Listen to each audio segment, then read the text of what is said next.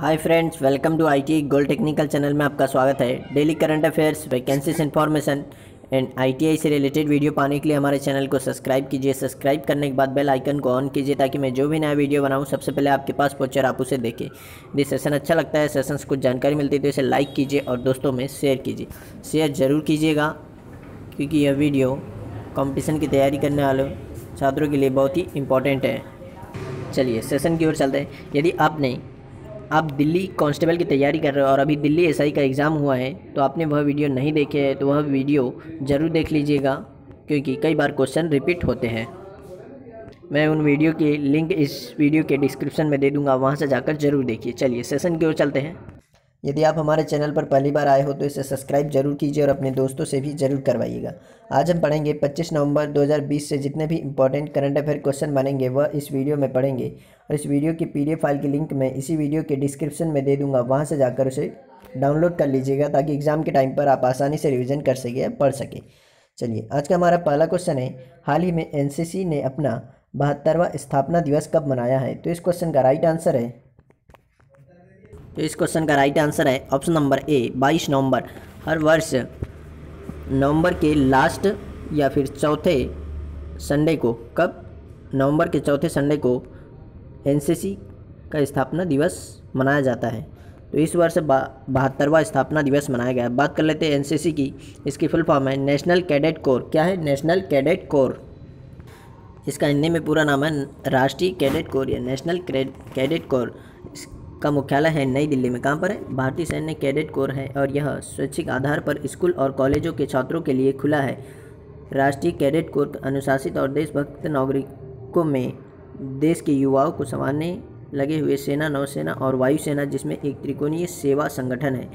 भारत में राष्ट्रीय cadet core उच्च विद्यालयों और महाविद्यालयों में विश्वविद्यालयों से कैडेट कोर यह शिक्षा देता है, यानी कि सेना के बारे में जानकारी और सेना की शिक्षा देता है एनसीसी। और इसकी स्थापना की गई थी कब? जुलाई 1948 में 1948 में। कब? 1948 में इसकी स्थापना की गई थी। इसका हेड क्वार्टर है नई दिल्ली में।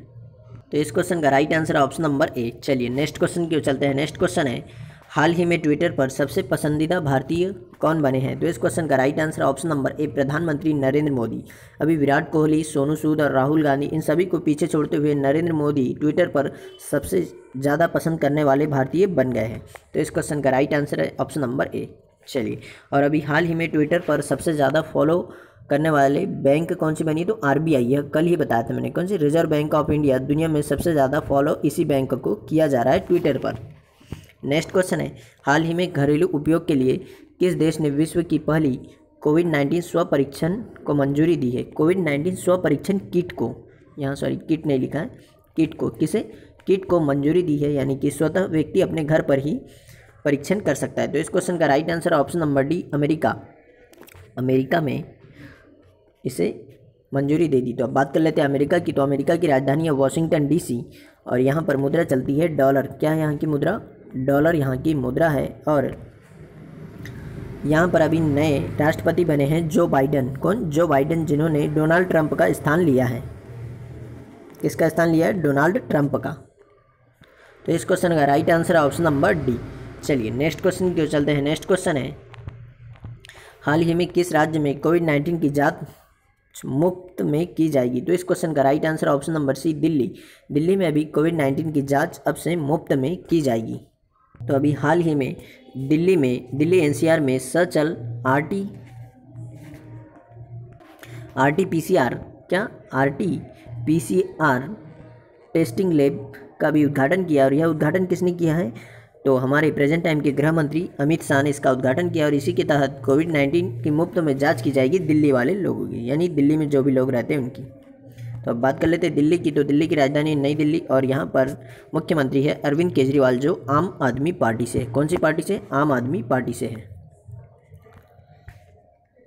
चलिए तो इस क्वेश्चन का right answer option number C next question की ओर चलते हैं। यदि आप हमारे चैनल पर पहली बार आए हो तो इसे सब्सक्राइब कीजिए और अपने दोस्तों से भी ज़रूर करवाइएगा। नेक्स्ट क्वेश्चन है, हाल ही में आई रिपोर्ट के अनुसार देश में कितने हज़ार पेट्रोल पंप पर ई व्हीकल चार्जिंग कियोस्क लगाए जाएँगे? तो इस क्वेश्चन का right answer option number D sixty nine यानी कि उनसत्तर हज़ार पेट्रोल पंप पर ई व्हीकल चार्जिंग कियोस्क लगाए जाएँगे, जिससे कि लोगों के अंदर यह क्रेज़ बढ़ेगा कि वह इलेक्ट्रिक वाहन खरीदे और इलेक्ट्रिक वाहन चलाए, जिससे कि प्रदूषण कम से कम हो। तो प्रदूषण कम करने के लिए यह सरकार का बहुत ही अच्छा फैसला है कितने सिक्सटी नाइन उनसत्तर हज़ार पेट्रोल पंप पर ई व्हीकल चार्जिंग कियोस्क लगाने की घोषणा की है, जिससे कि कार्बन मुक्त या कार्बन का उत्सर्जन कम से कम होगा। तो यह बहुत ही अच्छी पहल है। तो इस क्वेश्चन का right answer option number D चलिए नेक्स्ट क्वेश्चन क्यों चलते हैं। नेक्स्ट क्वेश्चन है, हाल ही में पूर्वोत्तर भारत में कहाँ पर पहला गौ अस्पताल खोला गया है? तो इस क्वेश्चन का राइट आंसर है ऑप्शन नंबर तो इस क्वेश्चन का राइट आंसर है option number D Assam. Assam के डिब्रूगढ़, असम के डिब्रूगढ़ में यहाँ गौ अस्पताल खोला गया है। पूर्वोत्तर भारत का यह पहला गौ अस्पताल है। तो अब बात कर लेते हैं असम की। असम की स्थापना की गई थी 26 जनवरी 1960 को, और यहाँ की राजधानी है दिसपुर। क्या है? दिसपुर यहाँ की राजधानी है, और यहाँ पर राज्यपाल है जगदीश मुखी, और मुख्यमंत्री है सर्वानंद सोनोवाल, जो बीजेपी पार्टी से और विधानमंडल यहाँ पर एक सदनी यानी कि विधानसभा है, जिसमें 126 सीटें। कितनी है? 126 सीटें हैं। तो इस क्वेश्चन का राइट आंसर है। ऑप्शन नंबर डी इसका राइट आंसर है। चलिए नेक्स्ट क्वेश्चन क्यों चलते हैं। नेक्स्ट क्वेश्चन है, हाल ही में वैज्ञानिकों की शोध के अनुसार कब मिनी मून पृथ्वी के करीब से गुजरेगा? तो इस क्वेश्चन का right answer option number B एक दिसंबर। एक दिसंबर को मिनी मून पृथ्वी के बहुत ही पास से गुजरेगा। यह वैज्ञानिकों ने अभी शोध करके बताया है। यानी कि यह वैज्ञानिकों के अनुसार यह जानकारी दी गई है अभी। तो इस तरीके से यह पृथ्वी के पास से ही एक हमारा क्या मिनी मून गुजरेगा? यानी कि चंद्रमा के जैसे ही मिनी मून जिसका नाम रखा गया है। तो इस क्वेश्चन का राइट आंसर हो जाएगा। ऑप्शन नंबर बी इसका राइट आंसर है। चलिए नेक्स्ट क्वेश्चन क्यों चलते हैं। नेक्स्ट क्वेश्चन है, हाल ही में 1300 साल पुराना भगवान विष्णु का मंदिर किस देश में खोजा गया है? तो इस क्वेश्चन का राइट आंसर है। Option number A Pakistan. Pakistan के स्वात, क्या? पाकिस्तान के स्वात ज़िले में, कौन से? स्वात ज़िले में, स्वात स्वात ज़िले में यह 1300 साल पुराना भगवान विष्णु का मंदिर खोजा गया। तो अब बात कर लेते पाकिस्तान की। पाकिस्तान की राजधानी इस्लामाबाद। क्या है? इस्लामाबाद। और यहाँ पर प्रधानमंत्री है क्रिकेटर इमरान खान। कौन है? क्रिकेटर इमरान खान। और यहाँ पर राष्ट्रपति है आरिफ अलवी। कौन है? आरिफ अलवी। और यहाँ मुद्रा चलती है रुपया। क्या? रुपया। और भारत और पाकिस्तान के बीच में एक लाइन है। उस लाइन का नाम है रेड क्लिफ लाइन। जैसे कि कई बार लोगों को कन्फ्यूज़न होता है कि मैकमोहन लाइन भारत और पाकिस्तान के बीच में या भारत या फिर भारत और चीन के बीच में। तो मैकमोहन में न आता है तो आप याद रख सकते हैं, चीन में भी यह न आता है।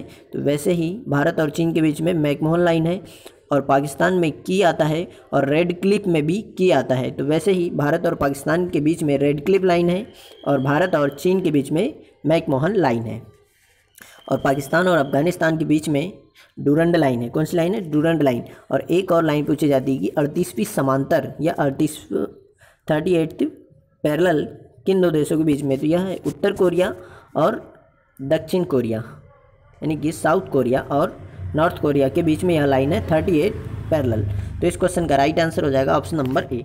चलिए, नेक्स्ट क्वेश्चन क्यों चलते हैं। नेक्स्ट क्वेश्चन है, हाल ही में किसे आदित्य बिरला विक्रम कला शिखर पुरस्कार से सम्मानित किया है?